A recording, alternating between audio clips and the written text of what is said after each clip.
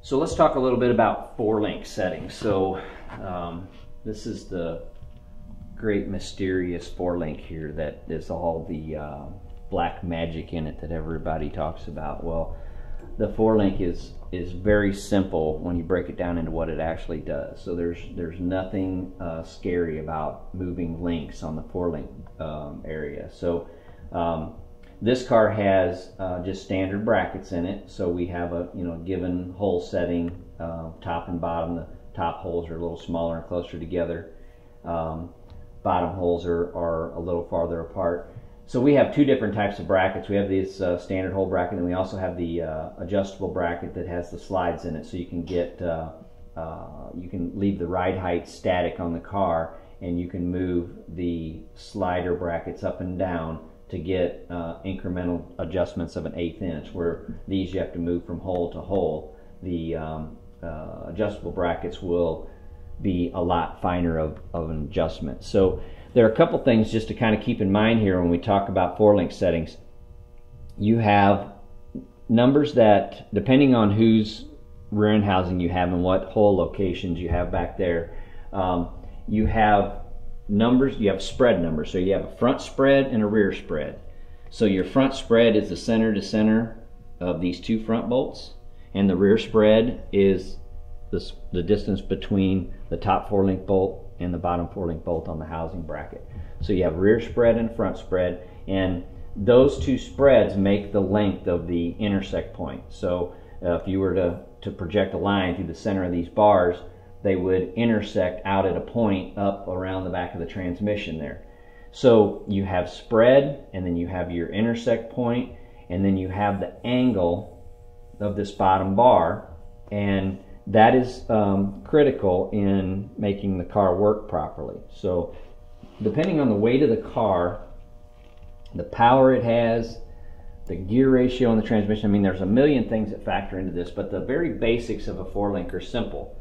So to calculate out the, uh, we have a program that we use that's the Chassis Master. It's very easy to input these numbers and, and um, plot changes uh, for the four link. So our brackets are already set up in it and it's, it's very simple to use. But if you don't have that program, um, you can draw this out on a piece of cardboard or, or uh, uh, anything that's long enough to get a 60 inch intersect point. So if I projected this line between these four link bars, it would go out to a point from the center line of the axle to a given number. So we'd have that length and we'd have that height off of the ground. So that number would be, let's say, 55 inches long and 6 inches high.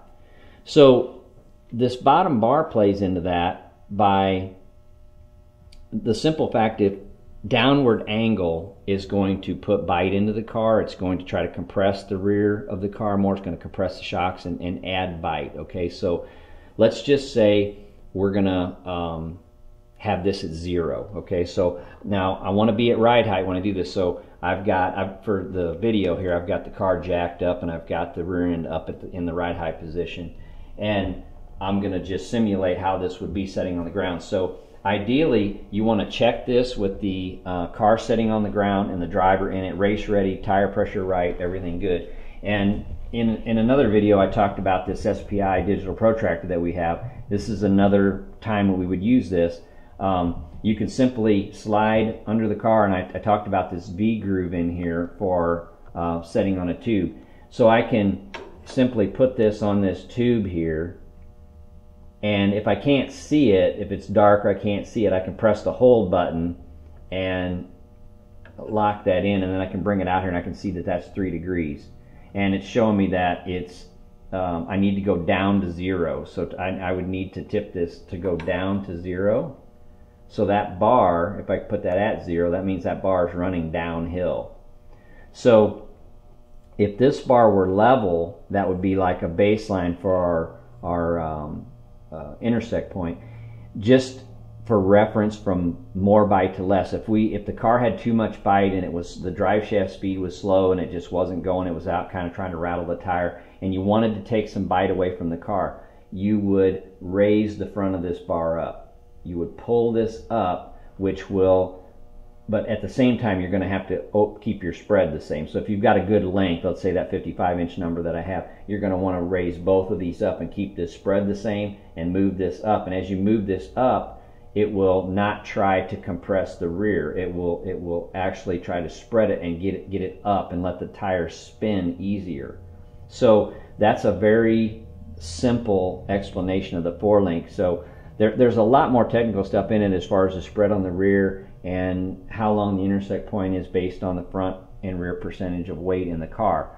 So there's lots of factors that you need to know. Like we get calls all the time where it'll be like, okay, I've got my car and I need to know where to set the four link at. Well, there isn't a general setting for every car, so we need to know lots of things about the car. How, what does the car weigh in total? How much weight's on the front? How much is on the rear? what power does it have? I mean, all these, uh, everything about the car should be used to factor where to start with the four link. Um, it also is important to know where you're going to run this car at. If you're running on marginally prep tracks or you're going to run on national event tracks, a lot of difference in how you set the car up for a track that you're going to run on every weekend that gets a little prep and a little glue and, and that's it versus a very well prepped nice sticky racetrack. A lot of difference in where you set the four link. So just this is just kind of the basic intro to four link settings, and we're going to get a lot more in depth in this later on in some more advanced videos. But just uh, wanted to talk about some of the things that are terminology for this, which is spread, lower bar angle, um, length of the intersect point, height of the intersect point. So you know, like I was saying earlier, as you bring this bar up to um, get the uh, uh, bite away from the rear end housing. That intersect point, as long as you keep this spread the same, the intersect length will stay the same. It's just going to come up higher off the track surface. So where if it's a downward bar angle at 55 inches, it might only be five and a half, six inches high, and you start raising this up, leave the ride height alone, you'll get a 55 inch bar that might be eight inches high. So now you've got this bar either running level or uphill, or it's it's not uncommon to run this bar uphill one and a half two degrees. I mean, it can be easily be that in several cars just just to get the back of the car to work right. So having this number is very um, very important. And along with the spread, uh, we talked about ride heights in another video, but one of the important things to calculate this out is to know how high this bolt is off of the racetrack.